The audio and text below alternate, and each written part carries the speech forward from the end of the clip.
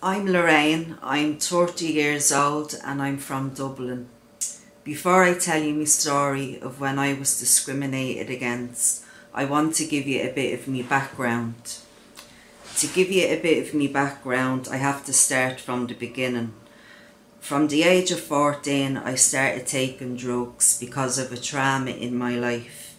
As the years went on, it led to harder drugs I always had a supportive family, even though I felt I had let them down. I always felt I wasn't worthy of anything in life.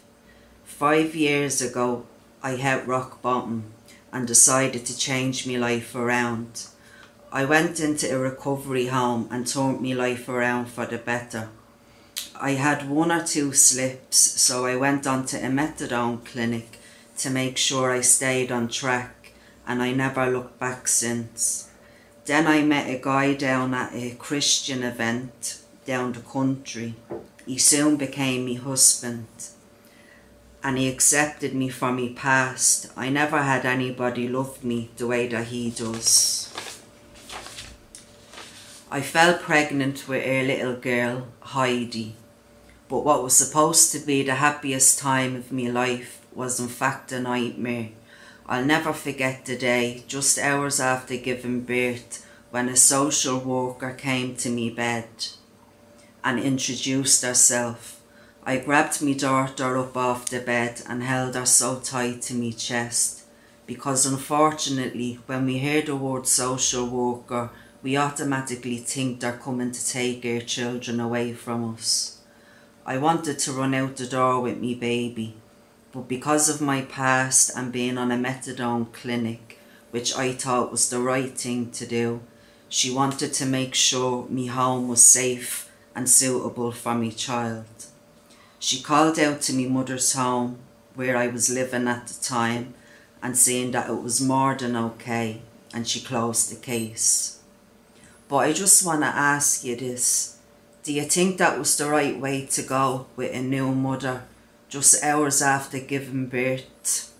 I'll never forget it. I had nightmares for weeks that my child was being taken off me. Even in the hospital, I felt I was treated different because I was on methadone. I would watch the nurses chatting and joking with the other mothers and I was left in the corner.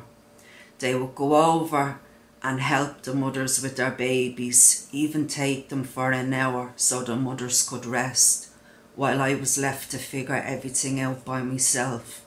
A new mother, remind you. We got pregnant on my second daughter, Daisy May, and I swore I'd never let that happen again.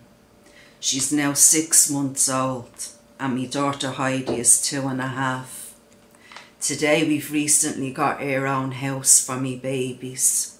You see, even though I was discriminated against and judged for me past, I never let that stop me better in me future. But I'll never stop fighting. I'll never stop fighting for my kids' future. I hope my children are never discriminated against the way I was.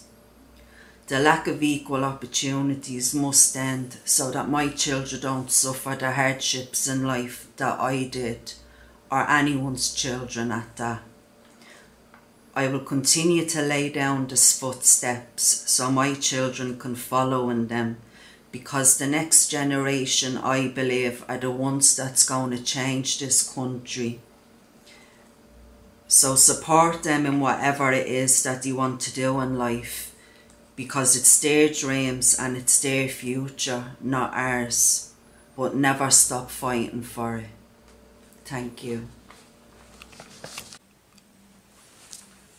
I think when we look at life today, being in, when people are at the street, I find that they're discriminated by the way they dress, the way they look, and how they have to beg for money for houses in this country, I think that people have discriminated by not having a roof over their head and how they have to go out.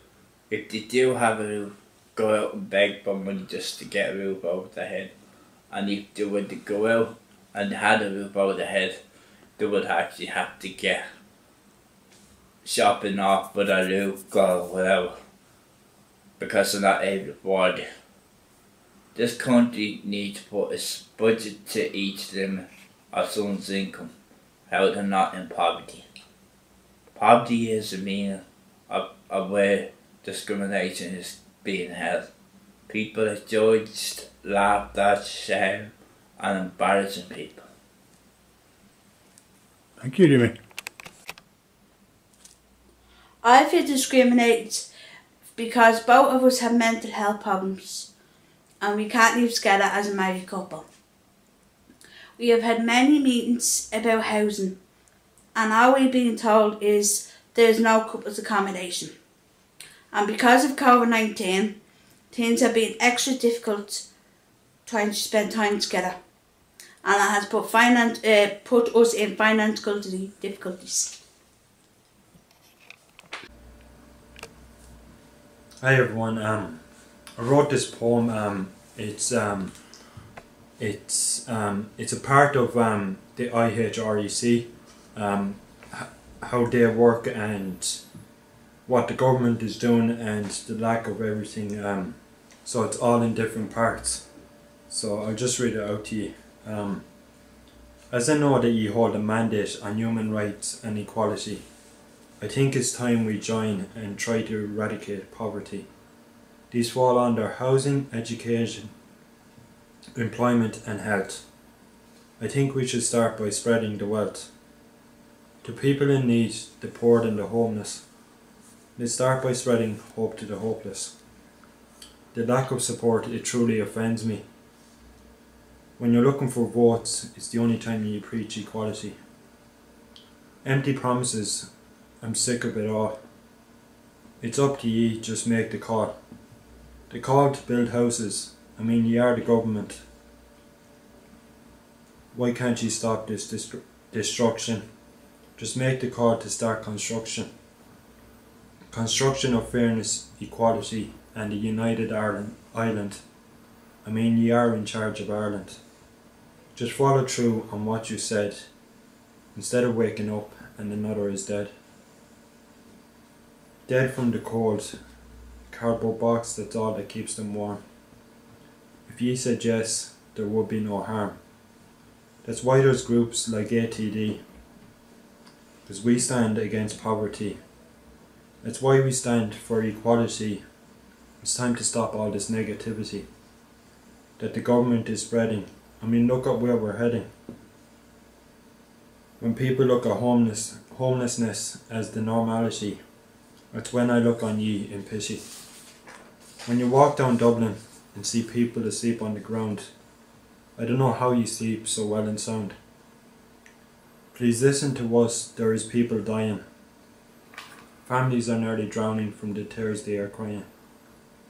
They're crying to ye to help them out. Some are afraid to scream and shout. I hope this poem reaches someone's heart before this country just falls apart. Thank you.